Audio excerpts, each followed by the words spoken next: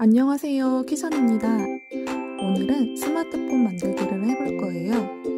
우선 흰 종이에 스마트폰을 대고 선을 따라 그려주세요. 그리고 절반을 접어 오려주세요.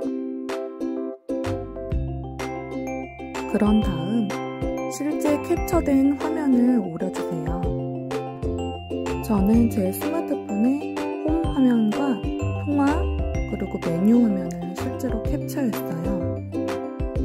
오려둔 종이에 스마트폰 홈 화면을 그려주세요.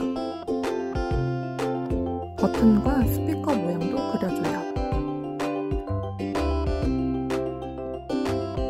홈 화면에 오려두었던 아이콘들을 하나씩 붙여주세요. 안쪽에는 오려두었던 화면들을 붙여주세요.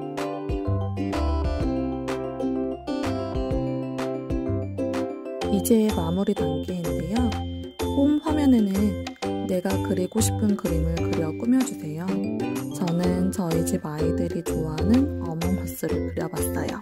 그러면 이렇게 스마트폰 완성!